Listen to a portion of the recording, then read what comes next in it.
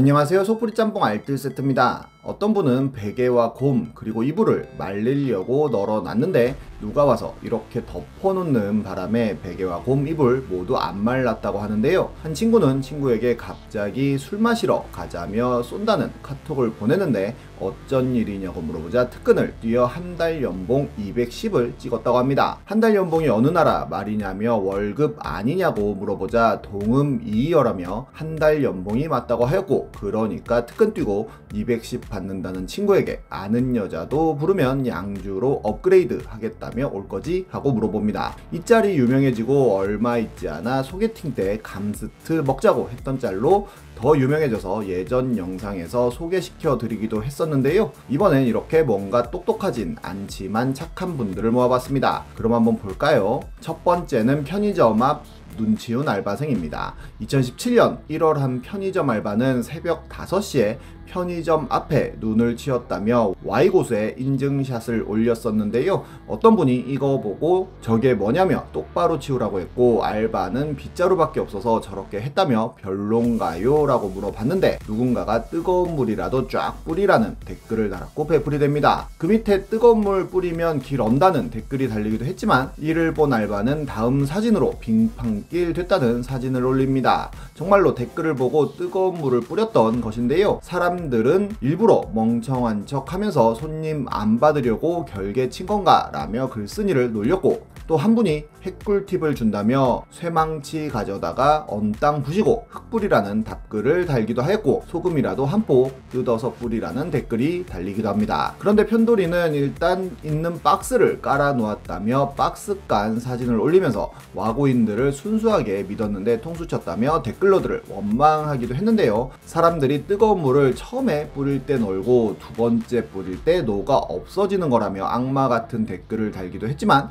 그래도 모래 뿌리라는 댓글이 또 나타났고 편돌이가 주변에 있는 땅 파서 가져와도 되냐고 물어보니 모래 깔고 그 위에 박스를 깔아야 마찰력이 줄어 더 안 자빠진다는 조언을 합니다. 누가 시킨 일이나 똑바로 하지 꼭 쓸데없이 일을 만든다고 하자 시제 점검도 하고 매장 안도 청소했는데 눈치우라는 말은 없었지만 자발적으로 했다고도 하는데요. 다음 글로 흙을 퍼와 막 덮었다며 흑포는 사진을 올리기도 했는데 인근 공터에 가서 땅 파 와서는 흙을 여기저기 뿌렸고 그럼에도 미끄러워서 손님들한테 조심하라고 얘기할 예정이라고 씁니다. 그리고 진짜로 걱정되어서 야외에 나와 있다며 새벽 6시 10분에 처량하게 앉아있는 인증샷을 올리는데요. 한 댓글러가 교대가 8시인데 2시간 내내 밖에 있으려고 하는 거냐고 물어보자 사람이 넘어져서 죽으면 어떡하냐며 추워도 죽는 거보단 나 같다는 답글을 썼고 진짜 누군지는 모르겠지만 나중에 안녕하세요에서 볼 것 같다는 답글도 올라옵니다. 그리고는 형들의 의견을 수렴해서 소금을 뿌린다며 소금 사진 역시도 올리는데요. 정말로 한 봉지를 뜯어 뿌렸고 바닥은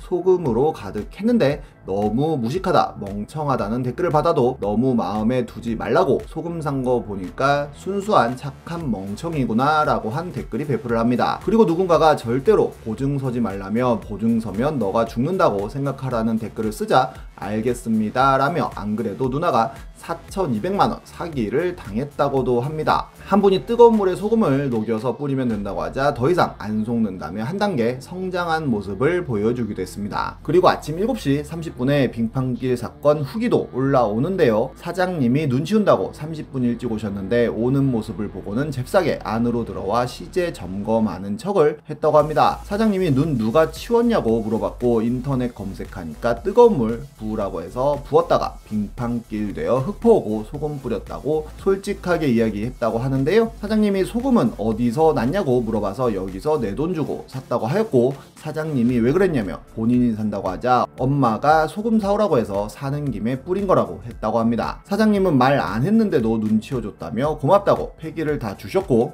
고려은단 비타민C도 줬다고 하네요. 다음은 페르난도 로드니입니다. 로드니 선수는 메이저리그에서 20년 가까이 선수 생활을 했던 마무리 투수인데요.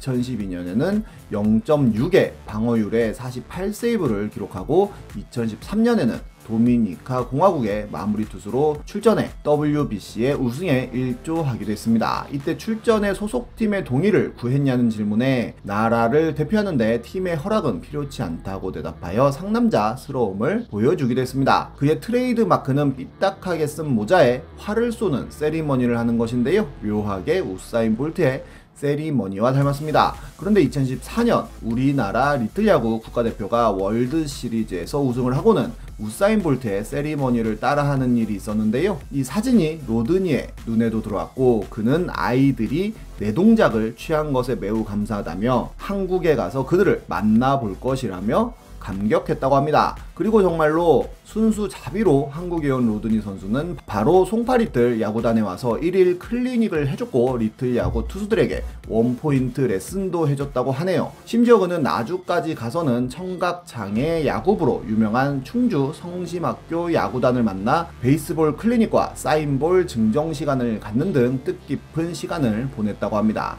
그리고는 화천으로 가서 산천어 축제장에 산천어 역시 잡아먹었다고 하는데요. 오해로 시작한 방한이지만 그 누구보다 방한을 즐기고 간 것 같네요. 다음은 인터넷상의 모자라지만 착한 친구들입니다. 한 분은 폐지 줍는 할머니들 도우려고 서점에서 책 몇 권 사서 드린다고 했다가 그 돈을 드리라는 답글을 받기도 하였고 어떤 분은 감자가 들어간 게 먹고 싶어서 sweet potato를 시켰는데 감자가 없었다고 합니다. 피자는 맛있었다면서 별 5개를 주기도 했습니다.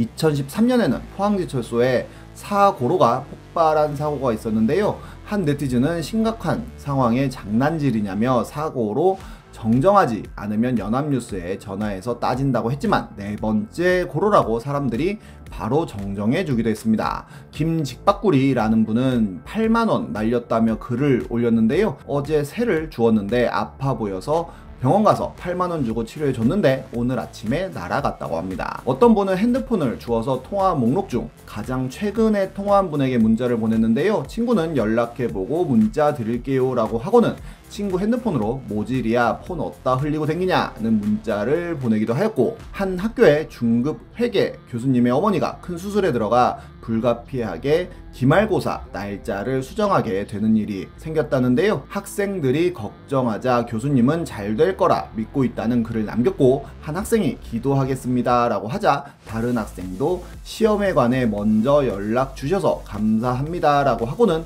삼가 고인의 명복을 빈다고 하여 교수님의 답장을 받기도 하였습니다. 어떤 분은 고양이라서 다행이야 카페에 길 가다가 제 차로 죽일 뻔한 고양이를 데려왔다는 글을 올리는데요. 차에서 내려 확인해 보니 미동도 안 하고 불러도 대답도 없길래 데려왔는데 밥을 안 먹는다며 이유 아시냐며 사진을 올립니다. 그런데 정말로 밥만 줬는데요. 고양이는 박스에 앉아 밥만 바라보고 있었습니다. 어떤 분은 중고나라로 건담을 사며 계좌번호를 알려달라고 하는데요. 판매자는 계좌번호는 왜 물어보냐며 본인 사기치고 다니는 사람 아니라면서 원하시면 신분증을 보여준다고 하고 그럼 돈은 어디다 입금하죠? 라고 물어보자 깨달음의 아하를 쓰기도 합니다. 모자라지만 힘이 센 사람들도 있는데요. 이 짤이 가장 유명한데 힘이 있다면 진실을 바꿀 수도 있는 법이죠. 라는 댓글을 받기도 하였습니다. 어떤 분은 아보카도에 원래 이렇게 씨가 많은가? 라며 사진을 올렸는데 칼이 좋은 건지 힘이 센 건지 궁금하네요. 어떤 분은 컨버스를 신으며 별표가 바깥쪽으로 오는 게 맞냐면서 인증샷을 올리는데요. 보통 컨버스 별표는 안쪽에 있는데 거꾸로 신은 것이었습니다. 어떻게 신은 거냐는 질문에는 진짜 잘 들어갔다며 쑥스러워하고 안 불편하냐는 질문에는 발 바깥 부분이 엄청 불편하다는 답변을 남기기도 했습니다. 딱 봐도 굉장히 불편해 보이네요. 어떤 분은 일하던 병원에 뱀에게 물렸다라는 전화가 와서 강하게 묶은 후 지금 바로 병원에 오세요 라고 전했다는데요. 아저씨는 정말로 뱀을 강하게 묶어서 병원에 왔다고 합니다. 이런 분들이 있어 조금 더 재밌는 세상이 되는 게 아닐까 싶네요. 지금까지 속풀이 짬뽕 알뜰 세트였습니다.